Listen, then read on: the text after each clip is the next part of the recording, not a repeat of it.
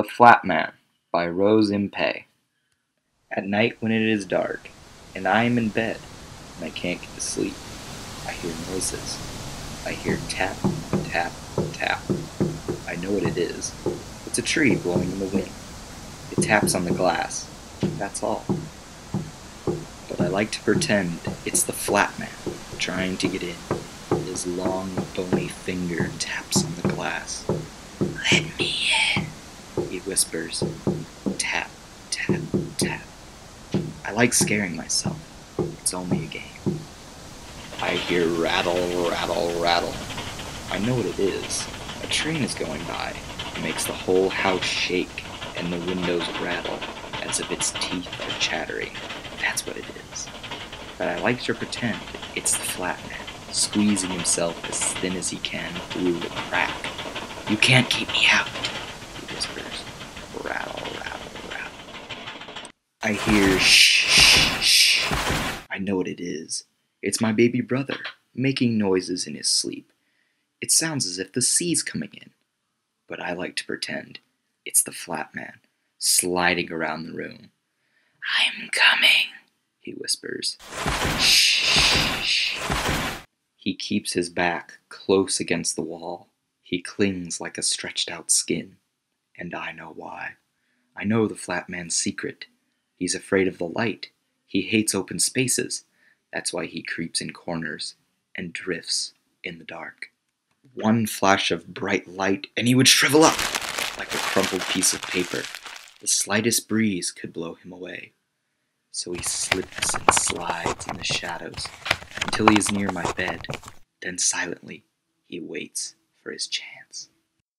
Now I can't hear a sound. I know what that means. There is no one there. No one at all. But I like to pretend. The flat man is holding his breath. He is waiting without a sound. Listen.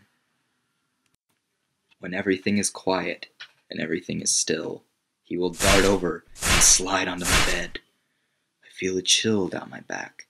I know what it is. There's a little gap close to the floor where the wind blows in. That's all. But I pretend it's the flat man coming closer and closer, breathing his icy breath on me. It makes me shiver. I pull the covers up and hold them tight under my chin. This is to stop the flat man from creeping into bed with me. But then I think to myself, he's so thin, he could slide in the smallest crack. He could creep in right now without me knowing. He could be lying there already by my side, cold and flat. I lie there afraid to move. An icy feeling is spreading all the way up my back. Someone or something seems to be wrapping itself around my chest. I can't breathe. I try to think, but my brain is racing around my head. It won't stop. There must be something I can do. Suddenly I remember the flat man's secret.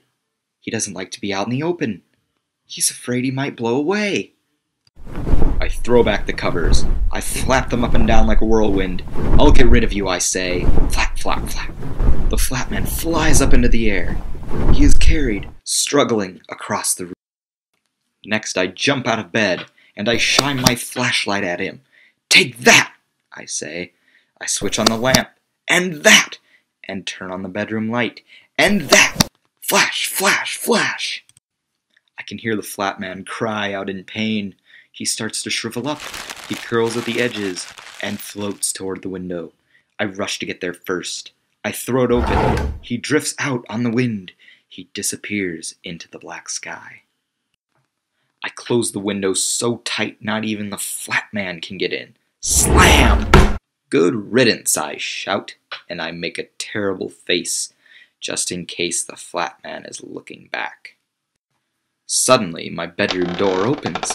A deep voice says, What on earth do you think you're doing? It's my dad. He looks at me, making a face. For goodness sake, close those curtains, he says, and get into bed. I creep back. I was playing, I say.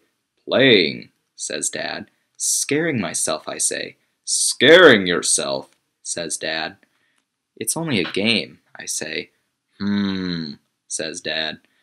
Well, I'll scare you in a minute, and that won't be a game. He turns off the light. He shuts the door and goes downstairs. Now it is really quiet and dark again. I lie in bed. I screw up my eyes, and I can see shapes. I can see a big black dragon on the wall. I know what it is. It's the kite my grandpa brought me from China. It hangs from the picture hook. That's all.